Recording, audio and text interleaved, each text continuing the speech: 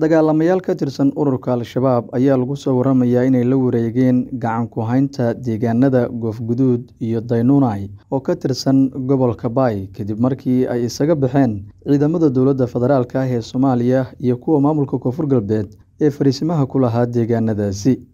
Deegaanka Daynuunay oo wax ka yar soddon kiiloomitir dhanka bari ka xiga magaalada Baydhabo ayaa la sheegay inuu ka dhacay dagaal xooggan oo u dhexeeyay Al-shabaab iyo ciidamada dowladda federaalk ah ee Soomaaliya kaas oo sababay in goor dambe ciidamada dowladdu ay isaga baxaan Al-shabaabna ay gacanta ku dhigaan. Deegaanka Goofguduud Boorey oo asna aan sidaasi uga fogeyn magaalada Baydhabo ayaa la sheegay inay isaga baxeen ciidamada dowladda federaalk ah ee Soomaaliya iyadoo halkaasi uusan ka dhicin wax dagaal ah kadibna ay la wareegeen dagaalamayaasha Al-shabaab. Goobjoogayaal ku sugan gobolka Bay ayaa waxay sheegeen in dagaalka ka dhacay Daynuunay uu sababay khasaare isugu jira dhimasho iyo dhaawac oo soo kala gaaray dhinacyadii dagaalamay. Maamulka Koonfur Galbeed iyo dowladda federaalk ah ee Soomaaliya ayaan weli wax war ah ka soo saarin deegaanada Goofguduud iyo Daynuunay ee gacanta u galay dagaalamayaasha Al-shabaab. Al-shabaab ayaa dhowrkii bilood ee la soo dhaafay waxa ay dagaalo ka wajahayeen ciidamada dowladda federaalk ah ee Soomaaliya iyo kuwa deegaanka